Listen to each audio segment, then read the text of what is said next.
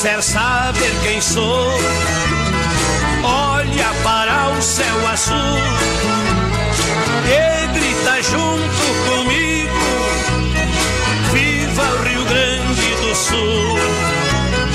O lenço me identifica, qual a minha procedência da província de São Pedro. Lara, hoje o presidente aqui da Assembleia sendo grande homenageado. A emoção de estar sendo homenageado, reconhecido pela sua história e pelo seu trabalho, presidente. Sem dúvida nenhuma, o agronegócio é o que mantém o nosso estado e o nosso país em pé.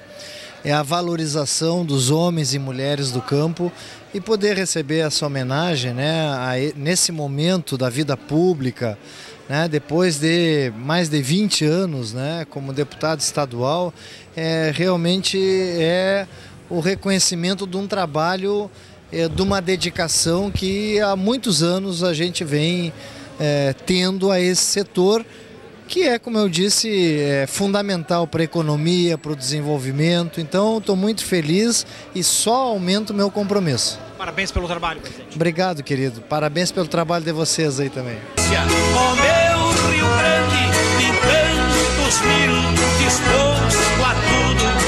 Ó